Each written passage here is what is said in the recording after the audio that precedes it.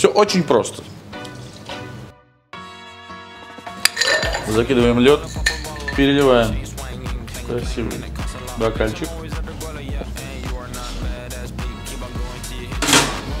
Такой коктейль автоматически называется гипсом.